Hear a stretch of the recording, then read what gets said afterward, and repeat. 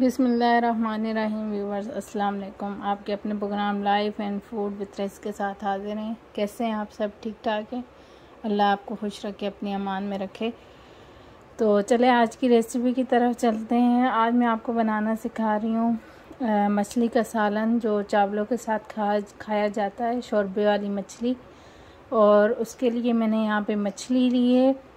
ये थ्री तीन पीसेस हैं मैंने यहाँ लिए, क्योंकि आप देख सकते हैं कि काफ़ी बड़े पीसेस हैं। तो अभी मैं इनको मैंने एक बार तो धोया है। अभी मैं इन पर इनकी स्मेल ख़त्म करने के लिए मैदा लगाऊँगी सारा, जो हमारा ऑल पर्पज़ फ्लावर होता है। आपने अच्छी तरह से मछली पे लगा देना है सारे साइडों पे। और तकरीबन 20 से 25 मिनट आपने इसको छोड़ देना है और 20 से 25 मिनट के बाद ठंडे पानी से आप इसे वॉश कर लें। तो इस तरह से आपने अच्छी तरह से मछली पे जिस तरह से हम फ्राई करने के लिए मछली पे मसाला लगाते हैं बिल्कुल इसी तरह से हमने सारा मैदा अच्छी तरह से मछली पे अप्लाई कर देना इस तरह से। तो इससे जो मछली की स्मेल होती है आ, वो ख़त्म हो जाती है। तो इस तरह से हम अच्छी तरह से सारा मैदा इन पीसेस पे लगा देंगे। और 20 से 25 मिनट इसे इसी तरह से रहने देंगे और 20 से 25 मिनट बाद आपसे मिलते हैं। जी व्यूवर्स तो ये फ़िश को मैंने जो मैदा लगाया था और धोया था इसे आ, इसे मैंने छलनी में डाल दिया है ताकि इसका पानी अच्छी तरह से निकल जाए। क्योंकि मेरी एक पहली भी रेसिपी थी जो मैंने आपको दी थी फ़िश करी की लेकिन वो हम दूसरे तरीके से बनाया था। ये हम वो सालन बना रहे जो चावलों के साथ उमूमन खाया जाता है। तो इसके लिए सबसे पहले मैं, आपने एक गहरा खुले मुँह का बर्तन लेना है और उसमें मैंने हाफ़ कप ऑयल डाल दिया है गर्म करने के लिए। और इसके साथ ही हम इसमें हाफ़ टेबल स्पून ज़ीरा साबुत ज़ीरा, चार लौंगे और छः से आठ दाने काली मिर्चों के, ये हम डाल देंगे इसमें। इनको हल्का सा हमने इसमें कड़कड़ाना है उसके बाद हम इसमें आ, मेरे पास एक दरमियानी साइज़ की पिसी हुई प्याज है वो शामिल कर देंगे। जी व्यूवर्स तो अब मुझे ये ज़ीरो वन की खुशबू आने लगी। इसमें हम शामिल अब करेंगे पिसी हुई प्याज है। एक प्याज है मेरे पास क्योंकि जो फ़िश मैंने तकरीबन दो से ढाई पाउंड के आसपास मेरे पास फ़िश है। और ये हम इसमें प्याज आ, कम शामिल इसलिए कर रहे हैं क्योंकि हमें ज़्यादा गाढ़ी ग्रेवी नहीं चाहिए क्योंकि हमें इसे पतला वाला सालन बनाना है तो इसलिए हम इसमें एक प्याज शामिल कर रहे हैं। जितने ज़्यादा आप प्याज टमाटर शामिल करेंगे उतना ही वो गाढ़ी होती जाएगी। तो मैंने यहाँ पे एक प्याज इस्तेमाल किया है दरमियाने साइज़ का और उसे बारीक पीस लिया मैंने ग्राइंडर पर तो हम अच्छा सा खूबसूरत सा इसका कलर आ जाए तो फिर आगे चलते हैं। जी व्यूवर जब तक हमारे प्याज ब्राउन हो रहे हैं ये टमाटर मैंने लिया था एक आ, बड़े साइज़ का टमाटर था मेरे पास उसे मैंने बारीक ग्राइंड कर लिया है। अब इसमें हमने डालने लगी हूँ मैं ये एक टेबल स्पून मेरे पास नमक है।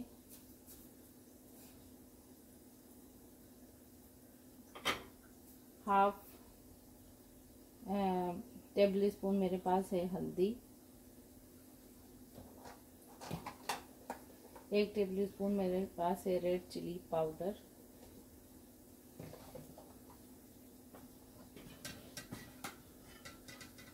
देगी लाल मिर्च मैं इसमें डालूँगी पेपरिका एक टेबल स्पून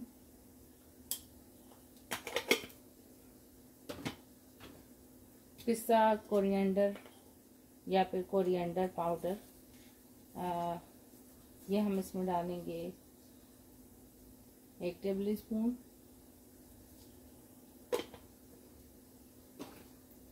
क्यूमन पाउडर हम इसमें डालेंगे एक टेबल स्पून नमक मिर्च आप अपनी मर्ज़ी से कम या ज़्यादा कर सकते हैं, आपकी मर्ज़ी है.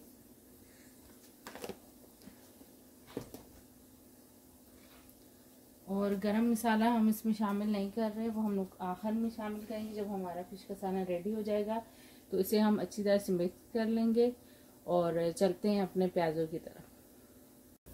जी व्यूवर तो आप देख सकते हैं प्याज़ों का हल्का सा क्रीमिश सा कलर आ गया है। तो अब इस पॉइंट पर हम इसमें डालेंगे एक टेबल स्पून भर के जिंजर गार्लिक पेस्ट इसे तीन, इसे एक से दो मिनट हमने भूनना है प्याज़ों के साथ।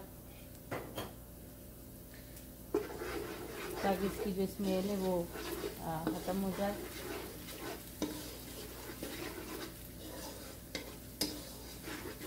एक से दो मिनट इसे भूनते हैं और उसके बाद इसमें जो हमारी जो बकिया चीज़ें हैं वो शामिल करते हैं। जी व्यूवर आप देख सकते हैं हमारा खूबसूरत सा आ, एक ब्राउन सा कलर आ चुका है। बहुत ज़्यादा हमने इससे डार्क नहीं करना प्याज़ों को। आप इस पॉइंट पे जो मैंने टमाटरों में सारे मसाले मिक्स करके रखे थे वो इसमें शामिल करेंगे।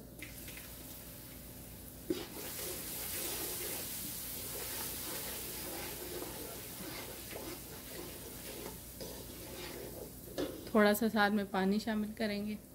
जी व्यूवर तो तीन से चार मिनट हो गए हैं हमारे मसाले को भूनते हुए और आप देख सकते हैं इसका ऑयल भी ऊपर आ चुका है। अब इस पॉइंट पर हमने डालेंगे इसमें तकरीबन तीन टेबल स्पून भर के दही।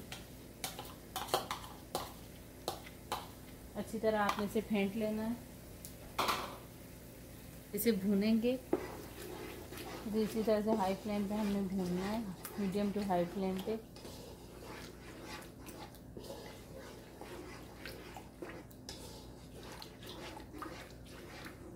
तो तीन से चार मिनट इसे देते हैं भूनने के लिए। और मैं एक और बात यहाँ पे कह दूँ कि आपने जो इसमें अनियन, टमाटर जो भी यूज़ करना है, आपने बिल्कुल इसे पेस्ट की सूरत में, जैसे टमाटर को भी हमने पेस्ट की सूरत में किया था और प्याज़ों को भी मैंने बिल्कुल बारीक थोड़ा सा पानी डालना है आपको और अच्छी तरह, एक तो हम चॉप करते हैं और एक हम पीसते हैं तो प्याज़ों को भी हमने अच्छी तरह से पीसना है और टमाटरों का भी हमने स्मूथ सा पेस्ट बनाना है। क्योंकि जो मछली का सालन होता है, उसका जो गरे, ग्रेवी या मसाला होता है, वो स्मूथ सा ही अच्छा लगता है। उसमें प्याज, टमाटर अगर नज़र आए तो अच्छा नहीं लगता। तो आपने इस बात का ख्याल रखना है मछली के सालन के लिए। और चलें, तीन से चार मिनट इसे देते हैं अच्छी तरह से। जब भून जाए तो फिर मिलते हैं आपसे। ये तकरीबन तीन से चार टेबल स्पून पानी मैंने इसमें शामिल किया है। इसे चार से पाँच मिनट इस मसाले को भूनेंगे ताकि जो टमाटर हैं उनका पानी भी ड्राई हो जाए और हमारा मसाला भी अच्छी तरह से भुन जाए। जी व्यूवर तो आप देख सकते हैं मसाला हमारा अच्छी तरह से भुन चुका है, जिसकी निशानी ये एक ऑयल सारा ऊपर आ गया है। अब इस पॉइंट पर हम इसमें शामिल करेंगे हरा धनिया। तकरीबन ये मेरे पास दो टेबल स्पून भर के थोड़ा सा मैंने बचाया है गार्निशिंग के लिए। उसे अच्छी तरह से मिक्स करना है।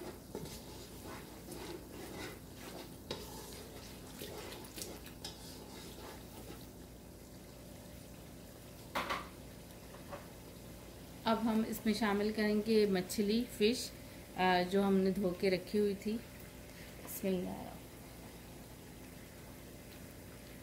मैंने बड़े पीसेस वाली मछली ली है। आप दरमियानी पीसेस वाले भी मछली ले सकते हैं, छोटे पीसेस ना लें, क्योंकि उनका टूटने का डर होता है।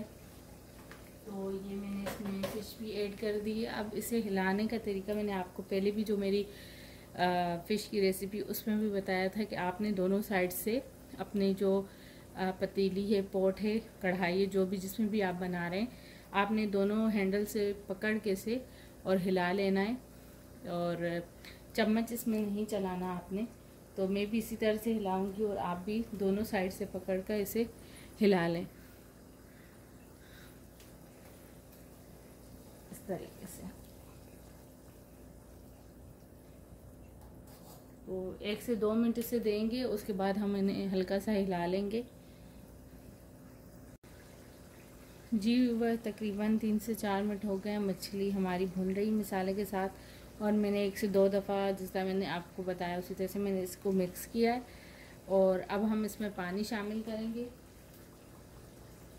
पानी आपने उतना ही शामिल करना है जितना आपको शोरबा चाहिए, और मैं इसमें तकरीबन चार कप पानी शामिल कर रही हूँ। चार से साढ़े चार कप पानी मेरे पास, ये मैंने शामिल कर दिया इसमें। तो थोड़ा सा हल्का से इसे अब इस टाइम पे हिला लेंगे।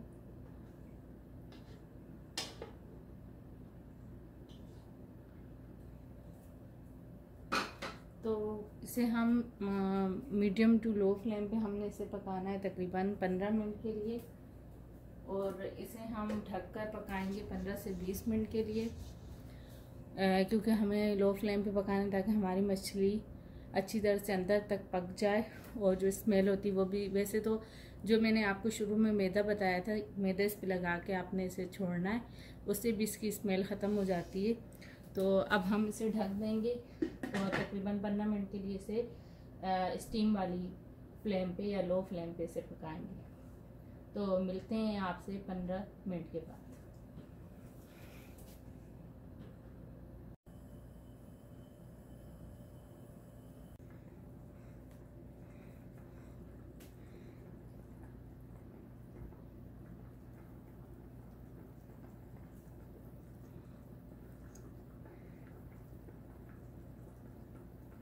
ये मैंने डाल दिया गरम मसाला।